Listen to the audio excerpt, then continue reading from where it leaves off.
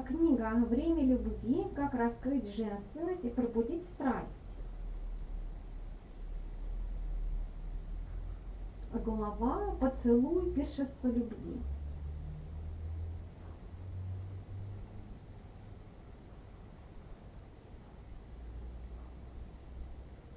Мы, люди, такие существа, которым нравится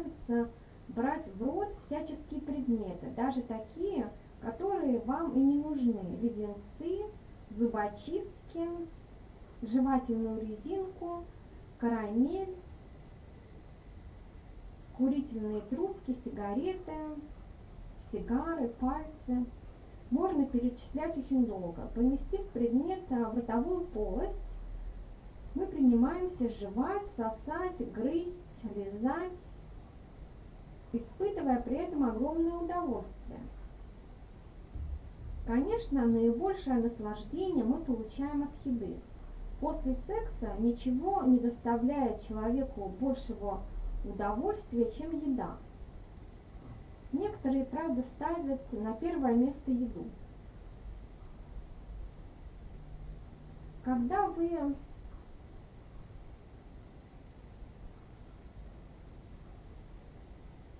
объединяете потребность в пище с потребностью в любви, вы получаете поцелуй. Когда вы объединяете потребность в пище с потребностью в любви, вы получаете поцелуй. Поцелуй – это на самом деле ваша возможность жевать, сосать, грызть, лизать то, что является для вас самым дорогим, любимым человеком.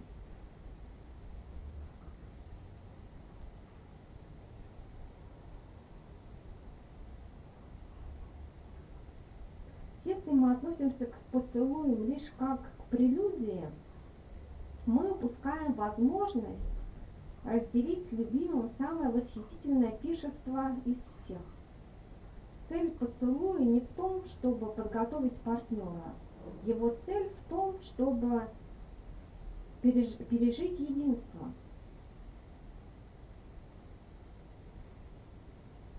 Цель поцелуя не в том, чтобы подготовить партнера. Его цель в том, чтобы пережить единство. Род вашего партнера – это вход в его существо. В этом смысле поцелуй имитирует любовный акт. Частью вашего тела вы входите в тело партнера. Частью вашего тела вы принимаете его тело в свое.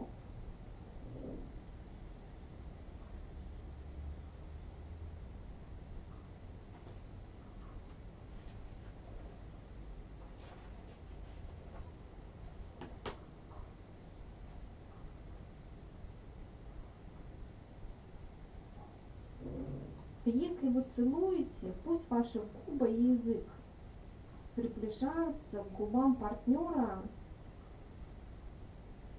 с почтением. Не позволяйте языку вести себя так, словно он взломщик. Пусть ваши губы спокойно поздороваются пока вы не почувствуете, что вас готовы принять.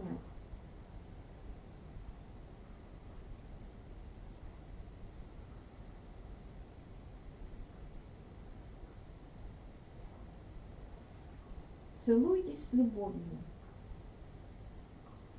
Как и в случае прикосновения, то, что вами движет во время поцелуя, ваше намерение будет определять, покажется ли ваша покажется ли вашему партнеру поцелуй мучительным или восхитительным.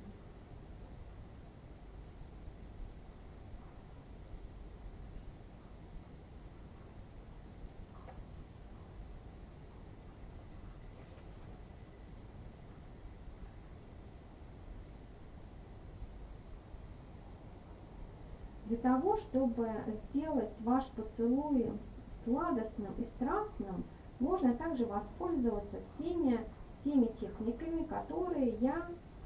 положила для любовного прикосновения ранее.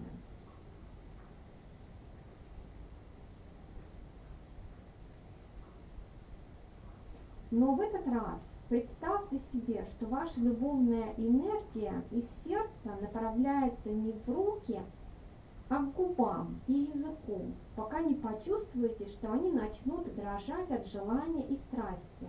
Представьте, что вы ласкаете губы партнера своей любовью. Почувствуйте, как ваша любовь переливается из вашего рта в рот вашего любимого. Мысленно говорите себе, я целую не просто губы моей любимой, я целую ее сердце и душу. Вы можете воспользоваться любой из техник, предложенных в предыдущей главе.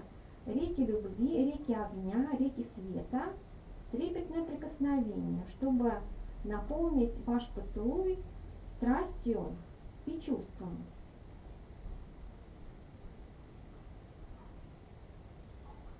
Поцелуй – это акт благословения вашего любимого.